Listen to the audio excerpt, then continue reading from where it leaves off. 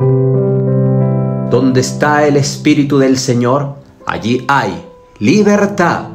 El camino de la libertad termina cuando se manifiesta la codicia, mentira, robo, adulterio, muerte, deshonra e idolatría, a lo cual se le llama libertinaje, mismo que toma fuerza cuando los mandamientos son desechados.